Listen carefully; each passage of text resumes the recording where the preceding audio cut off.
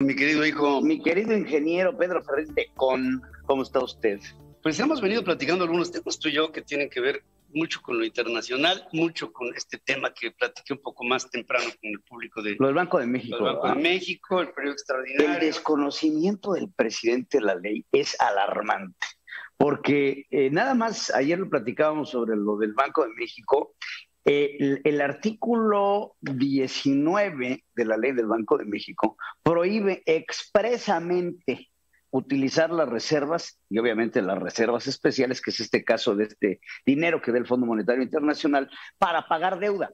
Estas reservas, según el artículo de la ley del Banco de México, están ahí para darle sustento al peso. A la soberanía monetaria. Claro, entonces no somos Bitcoin, entonces México tiene un banco central que le da valor a su moneda. Entonces, ¿qué le da valor a su moneda? Las reservas que tenemos para sustentar cada peso que esté en la calle.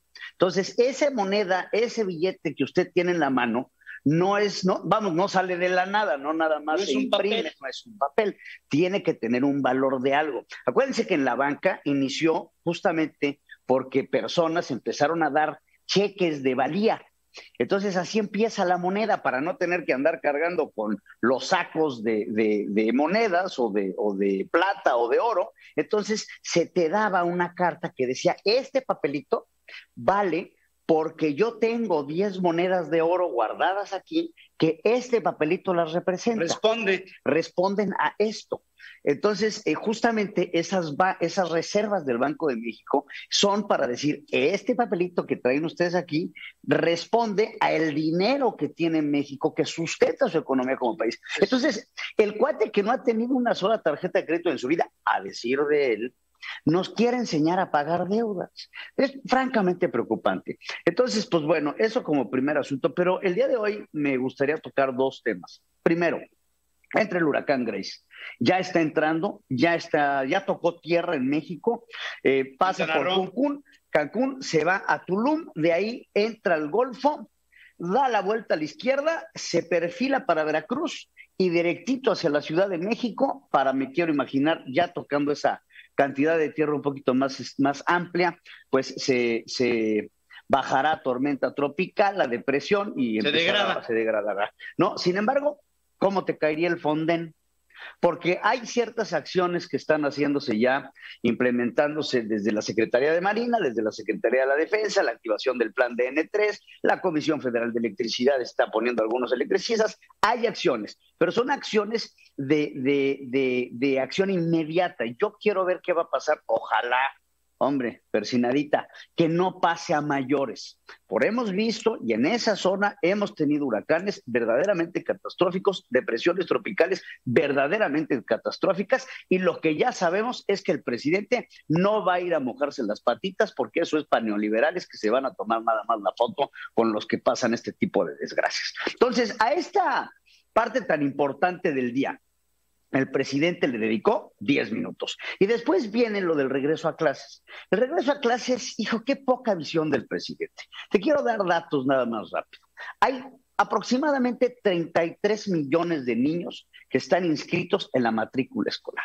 Vamos a suponer que regresamos a clases porque hoy sacaron una encuesta en donde el 70% de los niños quieren regresar a clases. Y por favor entiendan, no es que no queramos que nuestros hijos regresen a clases, no es que los niños no quieran regresar a clases, es un lugar de esparcimiento, hombre, los papás nos liberamos un ratito, los niños juegan entre ellos, echan cascarita, aprenden, están ahí con sus amigos. Entendemos eh, los daños psicológicos que pasan estos niños que están encerrados en sus casas, no solamente son daños psicológicos para los niños, son daños psicológicos para los papás. Vamos, eh, todo eso se entiende, pero vamos a suponer, por no conceder, que de estos 33 millones de niños se enferme el 1%. ¿Cuánto es el 1% de 33 millones? Si me ayudan. Son 330 mil. 330 mil niños. Y vamos a suponer que de esos 330 mil niños, el 1%, como dicen en las mañaneras, no sean exagerados, el 1% se muera. Son 3.300 niños. 1% del 1% de la matrícula. No estamos hablando de nada. Estamos hablando, no sean exagerados. Si se les muere un niño que llegue sano a la escuela, le dé COVID y producto de ese COVID, ese niño se muera, es suficiente para decir esto es un peligro. Porque no va a ser uno, son 33 millones, al 1% 330 mil, al 1% 3.300 niños que podrían entrar en un panorama preocupante. Y estoy hablando de datos mínimos, porque si nos vamos a los datos de contagio, si nos vamos a la posibilidad de que te dé COVID a estos niños que no tienen vacuna, porque aparte no estoy hablando de niños ya grandecitos, no estoy hablando de matrículas universitarias, estoy hablando de matrículas pequeñas, de niños niños que pueden rondar de los 0 a los 12 años de edad, que se te empiecen a morir los niños, que se te muera uno, que se te mueran dos, que se te mueran tres. Y así esto con el efecto que hemos visto de la pandemia, que es un efecto exponencial de contagio. Ayer tuvimos el día, un problema ayer tuvimos más de 24 mil contagios, que es el día de mayor número de contagios desde que empezó la pandemia. Yo me acuerdo cuando empezó la pandemia, eh, se habló de un brote en una escuela. Y empezó al principio, muy al principio de la pandemia en México. Y el subsecretario Hugo López Gatel decía, porque en esta escuela se habían infectado 11 niños. Y de, bueno, por 11 niños no vamos a suspender las clases. Ah, no, mi rey. Pues estos 11 niños, cada uno de esos 11 niños tiene la capacidad de infectar a cuántos. Entonces, el efecto multiplicador, parece que no hemos aprendido nada, el efecto multiplicador, con que un niño vaya enfermo al aula y en esa aula existan 40 niños, de esos 40 niños que infecte a cuatro y que de esos cuatro, vamos otra vez a entrar en problemas, porque esos niños van a regresar a sus casas, esas casas van a tener adultos mayores, van a tener estos vacunados, no vacunados, por vida de Dios, es un asunto de aritmética simple. No tenemos que sacarle el coeficiente a nada. Es un asunto de sumas, restas y multiplicaciones. No lo entienden y se me hace que es muy cortoplacista del presidente de la República no analizar los riesgos, pero bueno, dicen que no hay borracho que trague fuego. Ya encontramos uno. Ya, pues sí, y fíjate, estaba yo pensando en Nueva Zelanda surge un caso y se cierra el país.